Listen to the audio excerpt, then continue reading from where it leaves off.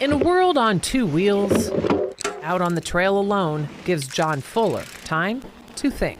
It really just puts you in a, in a great frame of mind. Fuller's always spinning his wheels on ways to keep riding.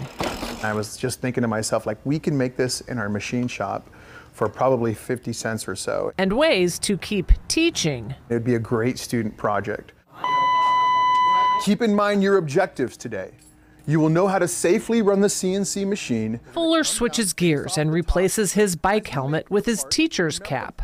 Remember, we need to be done with this before midterms. This is the Roseville High School Engineering Classroom for Career and Technical Education. The class, Computer Integrated Manufacturing. I'm getting a really, a really good hands-on experience and introduction to engineering. I think it's cool that you can take what's in your head and just have it in front of you.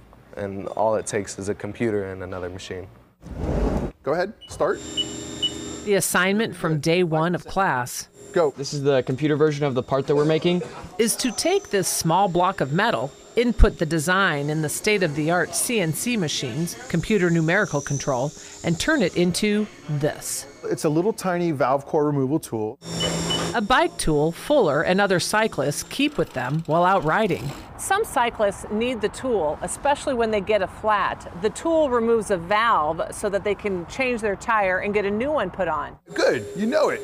I think it's pretty cool to think that like something that we do here in this class is is already being implemented into into society. Besides designing, creating, and manufacturing the bike tool for a class grade, the students are learning about business too, with packaging, marketing, and earning a buck.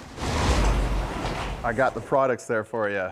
At Mike's Bikes, before they heard about Roseville High's class project, the store already sold the tool made by an established bike company. Simple, small tool, but should be in everybody's toolbox. General Manager Casey Russell was ready to put on the brakes with Fuller's cold call. I've got some students that made this thing, and you kind of go, okay, that's nice. And you don't expect it to be a professional level quality tool.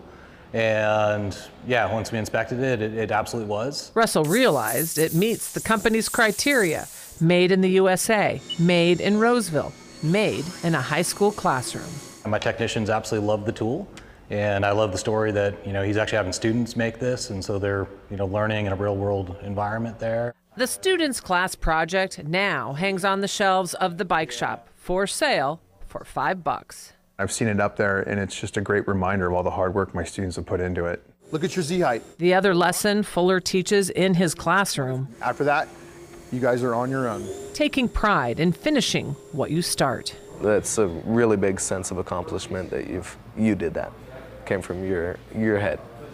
From your hands. Mm-hmm. I see myself taking this further in life, and it's something I really enjoy. So hopefully, I'll be able to to do an engineering uh, job later on in life. Meanwhile, in Fuller's outside classroom of life, he thinks about his students. I like the fact that they had that sense of freedom in my classroom. The same freedom this teacher feels while flying on his mountain bike with the student's handy, handmade tool in his pocket. In Roseville with photojournalist Brian Fong, Michelle Bandur, KCRA 3.